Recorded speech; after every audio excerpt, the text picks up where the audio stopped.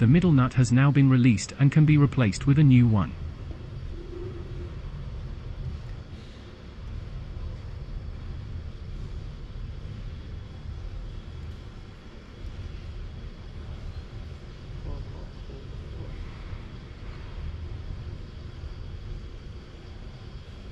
However, the opening in the gripper fingers is not large enough to grip the center nut. For this reason, special gripping pins are used.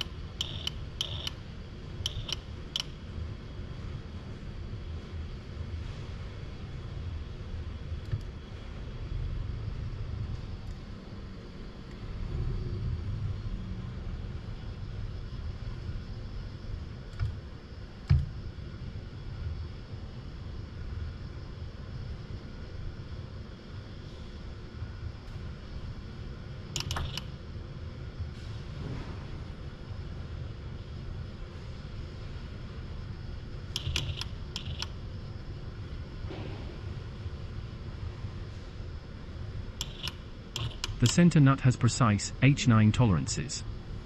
Despite this, the nut is easily lifted using force control.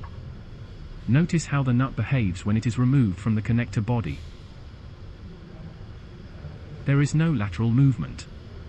This can be seen as an indication of a well-established transparent impedance between the robot and the operator.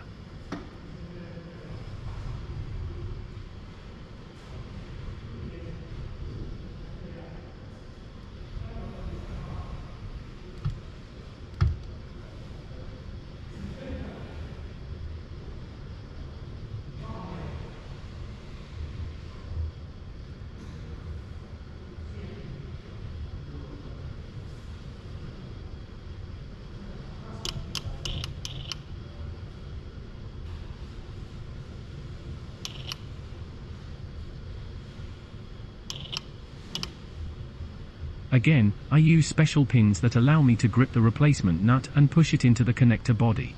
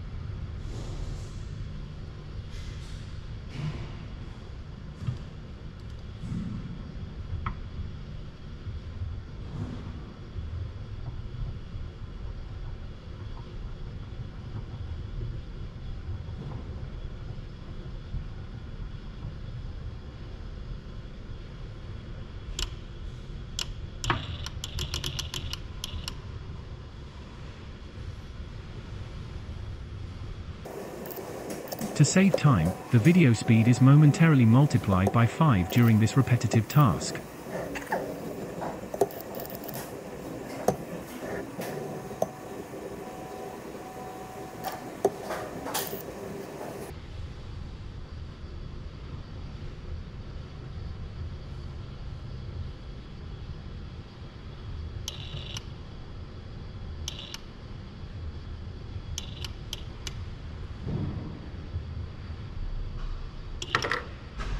Then, I'm a bit too careless, when picking the first bolt.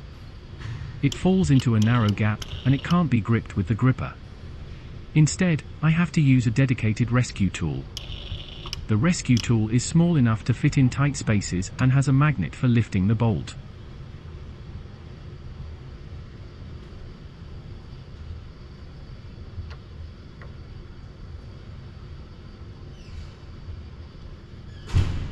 There are also magnets on the bottom of the bolt rack for each bolt. The magnetic forces in the bolt rack are greater than the magnetic force of the rescue tool. The unequal balance of forces helps to release the bolt back into the rack.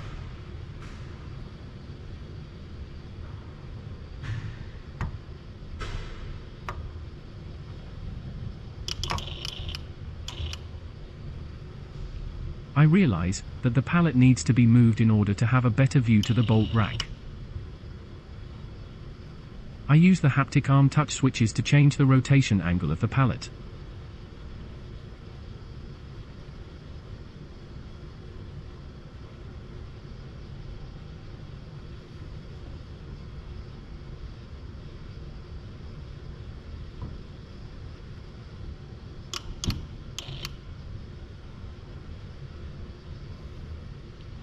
Hmm.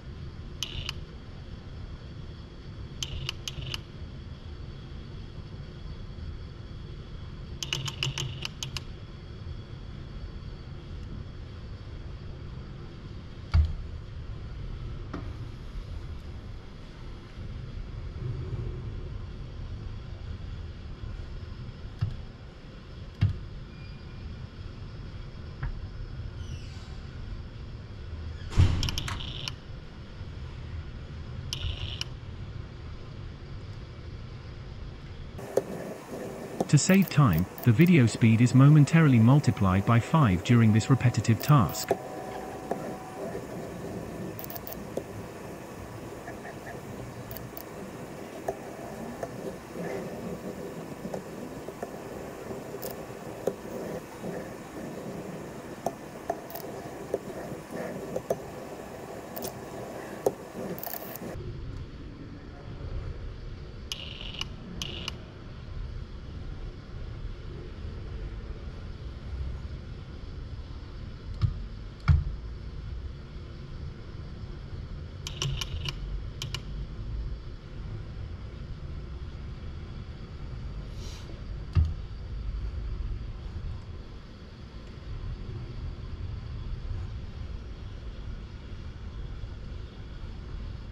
Unfortunately, I can't show you the handling of the last bolt because the camera stopped recording due to the 4GB file size limit.